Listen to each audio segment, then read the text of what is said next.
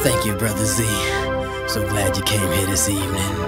And I am Reverend Do Right. You know, I won't do you wrong.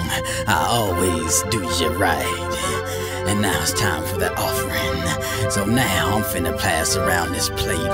And I got want you guys to put in those dollar bills. You know, I don't want no change. I want tens and twenties. No ones, no fives, just tens, twenties, fifties, of course. Cause I, the Reverend's trying to come up, you know. Cause he's driving a 1963 Falcon convertible. And I wanna be driving something nice like a 1991 Bentley Turbo. I know you wanna see the Reverend driving a nice car. You don't want nobody out there bad mouthing the reverend and everything. So I want you to put in that money, you know. Because there's a lot of things out there that you guys don't have, and that's easy. Can I hear you say Eazy? Two times, can I hear you say Eazy, Eazy?